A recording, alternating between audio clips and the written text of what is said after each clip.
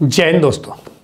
दोस्तों, आज आपके सामने मैं एक बहुत महत्वपूर्ण वीडियो लेकर आया हूँ, जो कि एज ऐप से होम लोन के बारे में है। और जैसा कि आप देख रहे हैं, मैंने लिखा है, मेरी गारंटी 35 लाख तक 15 दिन में। और दोस्तों, ये कुछ क्रॉस का निशान है, जो कि एजीआई ने काफ़ी डॉक्यूमेंट को अभी रिड्यूस कर दिया है। तो मैं आपको पहले बताना चाहूँगा दोस्तों, मैं एक बार ए में पोस्टेड था होम लोन सेक्शन में ही। तो मैंने देखा कि हमारे जवानों को होम लोन लेने में सबसे ज़्यादा दिक्कत आती है। और सिर्फ़ वजह यह है कि डॉक्यूमेंट और अवेयरनेस, सिर्फ़ छोटी सी वजह है कि जानकारी नहीं है कि डॉक्यूमेंट क्या चाहिए और पूरी अवेयरनेस नहीं है कि लोन कौन सा। सिर्फ़ लोग कहते हैं ए जी होम लोन। लेकिन होम लोन में दोस्तों आठ से दस तरह का लोन होता है, जो कि मैं आज आपको इस वीडियो के माध्यम से बिल्कुल स्पष्ट करके बताऊँगा क्या डॉक्यूमेंट हैं कितना टाइम लगेगा, कौन सा डॉक्यूमेंट यूनिट से बनेगा, कौन सा डॉक्यूमेंट बाहर से। वैसे सिर्फ़ चार डॉक्यूमेंट हैं जो बाहर से बनेंगे। उसके बारे में डिटेल में मैं इस वीडियो में आपको बताऊँगा। और मेरी गारंटी है कि इस वीडियो को देखने के बाद पंद्रह दिन के अंदर आप होम लोन सेंक्शन कराएँगे। तो दोस्तों, जिस टाइम पे ये मैंने एजीआई पोस्टेड था, मैंने तब डिसाइड किया था लोगों को देख के जो लोग लोन नहीं ले पा रहे थे, सिर्फ़ छोटी छोटी वजहों से कि जब मैं रिटायर होऊँगा तो यूट्यूब चैनल के थ्रू ये ऐसी इस तरह की बहुत सारी महत्वपूर्ण जानकारी जवानों जैसे उस वार तक पहुंचाऊँगा, जिसके माध्यम से आज मैं हाजिर हूँ आपके सामने ये वीडियो लेकर। मेरा नाम है प्रमोद, आप देख रहे हैं सैनिक वेलफेयर समाचार यूट्यूब चैनल। तो चलिए दोस्तों, शुरू करते हैं आज की वीडियो। तो दोस्तों, ये है एजीआईएफ की बुकलेट जिसको आप दो तरीके से मंगा सकते हैं, जो आप स्क्रीन पे भी देख रहे होंगे। ये जितने भी लोन होम लोन होते हैं होम लोन दोस्तों आठ प्रकार के होते हैं। ये सारे होम लोन की एक बुक है। पहले अलग अलग आती थी, आजकल एक आती है। दोस्तों, इसका पीछे रेट लिखा हुआ है। ये तीन सौ रुपये की A G I F New Delhi से आती है। उसका एड्रेस मैं आपको दिखाऊँगा। इसके पहले पेज पर है। और दोस्तों, दूसरा मैं बताना चाहूँगा कि आज की डेट में जो इंटरेस्ट रेट है, वो सेवन परसेंट है। और किसको कितना लोन मिलेगा, वो मैं ईएमआई चार्ट के थ्रू आपको बताऊँगा।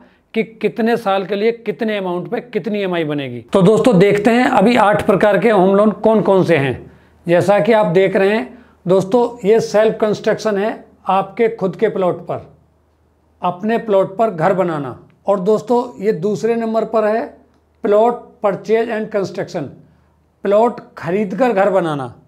और दोस्तों, अगला लोन है किसी से बना हुआ घर खरीदना। और उसके आगे आप देख रहे होंगे ए डब्ल्यू एच ओ से बना हुआ घर लेना, अपने बने हुए घर को रिपेयर करना, यानी जो घर आपको पहले से आपके पास है, उसको आप रिपेयर करना चाहते हैं, ये वो लोन है।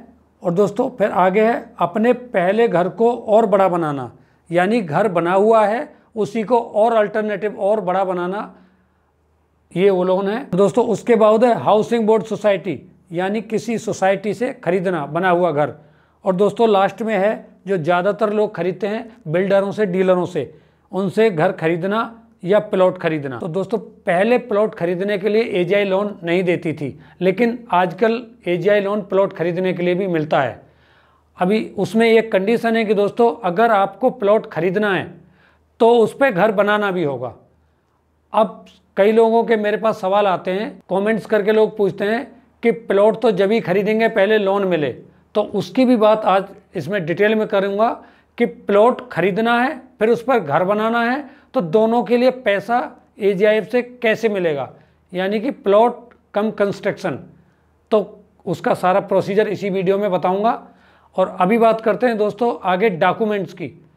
ये तो हुए लोन के प्रकार।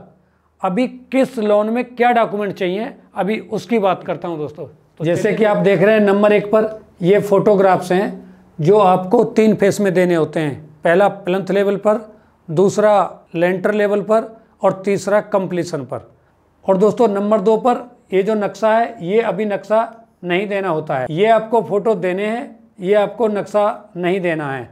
और दूसरा दोस्तों, तीसरे नंबर पर सर्च रिपोर्ट वकील से ये भी आजकल नहीं देनी है। उसके बाद अगला है दोस्तों चेंज ऑफ़ लैंड ये सर्टिफिकेट पहले जाता था, आजकल ये भी एजीआई ने कैंसिल कर दिया है। इसको भी आपको नहीं देना है। और दोस्तों, अगला है नो ड्यू सर्टिफिकेट ये भी आजकल कोई सर्टिफिकेट की ज़रूरत नहीं है, ये भी कैंसिल हो गया है।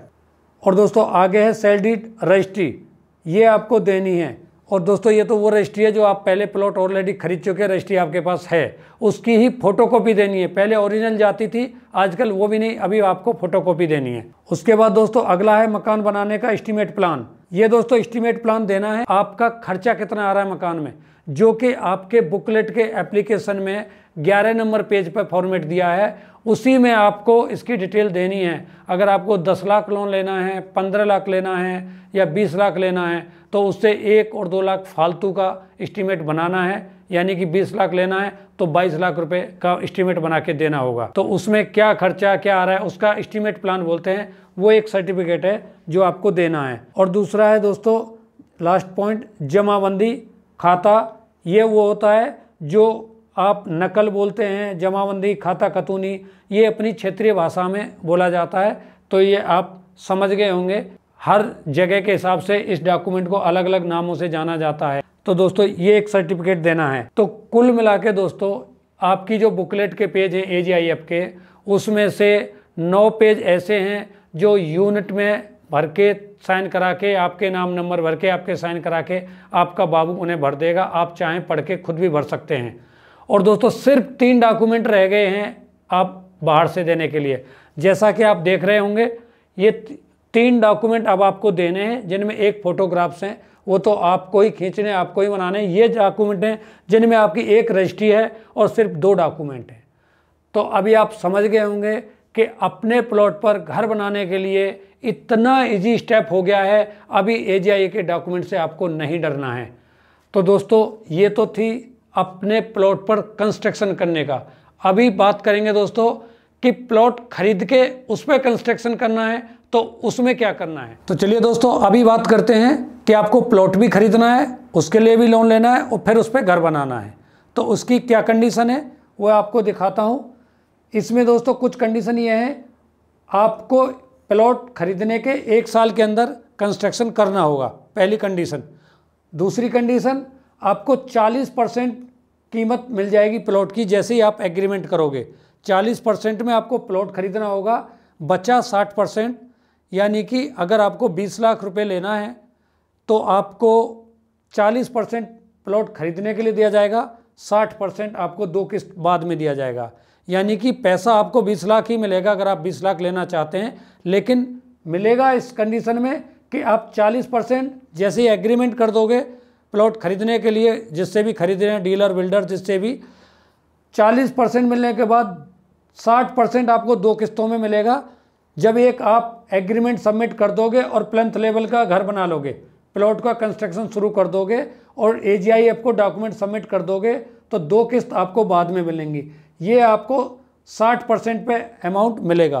तो दोस्तों, ये प्लॉट कम परचेज की ये कंडीशन है। इसके अलावा जो डॉक्यूमेंट थे, वो जो कंस्ट्रक्शन के जो मैं आपको वीडियो में पहले बता चुका हूँ सेम वही डॉक्यूमेंट हैं। सिर्फ़ प्लॉट खरीदने के लिए आपको एक एग्रीमेंट देना है, एक साल के अंदर कंस्ट्रक्शन करना है। ये कंडीशन है अदरवाइज़ दोनों प्लॉटों में सेम प्रक्रिया है।